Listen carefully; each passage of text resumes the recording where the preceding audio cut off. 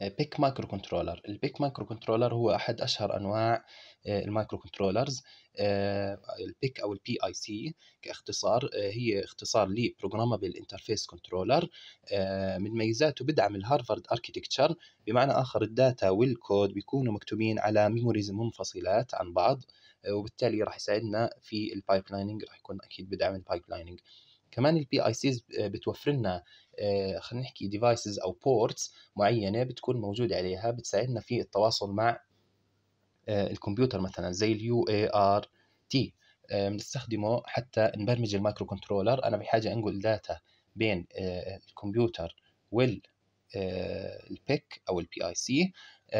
المنفذ UART بيساعدني حتى أتواصل مع الكمبيوتر بشبكه بشكل مباشر من خلال سلك آه، بسموها كمان peripherals peripherals يعني عبارة عن devices جانبية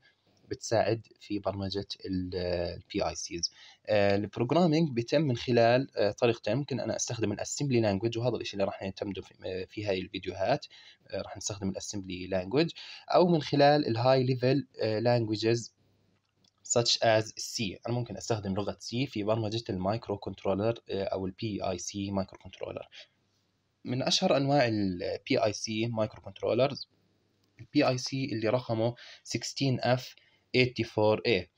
آه شو ميزاته؟ شو ميزاته وليش إحنا بنستخدمه؟ آه لأنه بيوفر لنا اول شيء بيوفر لنا 35 instructions فقط 35 instruction فقط سهلات زي مثلا آه كيف تعمل add كيف تعمل subtract XORing ANDing ORing وغيرها من ال instructions راح نتعرف عليها كاملين تقريبا آه، في آه، الفيديوهات القادمة. آه، في عندك كمان حجم ال RAM اللي أو أو حجم ال memory اللي بنقدر نبرمجها هي عبارة عن 1 كيلو أو 1024 words 1024 words ال words هون مقصود فيها 14 bit 14 bit اللي هي حجم ال instruction راح نتعرف عليها. نوع نوع ال memory اللي بنستخدمها في ال programming هي ال flash memory وبنقدر نبرمجها حوالي 10000 مرة نعمل عليها erase and write 10000 مرة. هذا الرقم فعليا آه، كبير جدا آه، يعني يكاد يكون infinity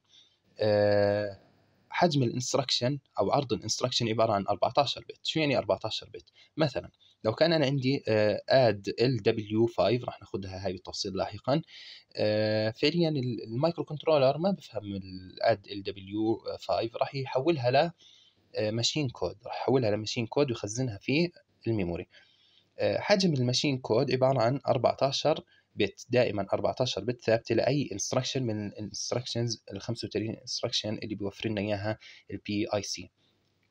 data ال data بيكون عرضها عبارة عن 8 bit فقط. 8 bit بتخزن في ال RAM. 8 bit بنخزنها في ال RAM من ال data. آه كمان بيوفر لنا 15 special function ال special functions هاي آه مختلفة عن ال instructions اللي نتعامل معها فراح نتعرف عليها تقريبا كاملة 15 special function بيوفر لك كمان stack stack صغيرة آه، عبارة عن 8 level stack هاي ال stack آه آه، تستخدم لتخزين ال program counter راح نتعرف عليها بالتفصيل لاحقا آه، وراح نحكي عن architecture كيف آه، راح نستفيد من ال stack ونخزن فيها ال program counter بالتفصيل. بيوفر لك كمان 13 input output pins عبارة عن pins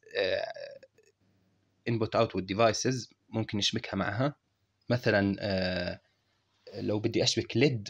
وأوصله على ال microcontroller أنا ممكن أستخدم واحد من هاي ال pins وأشبك عليه ال LED ممكن أضويه وأطفيه من خلال ال microcontroller آه، ممكن أنا أستخدم آه، معين زر أشبكه على ال microcontroller وأقرأ من خلال هذا الزر ممكن أنا آه، أحط أشبك مع ال microcontroller عبارة عن screen صغيرة شاشة صغيرة راح نتعرف عن عليها بالتفصيل إن شاء الله لاحقا كيف راح نعمل هذا الشيء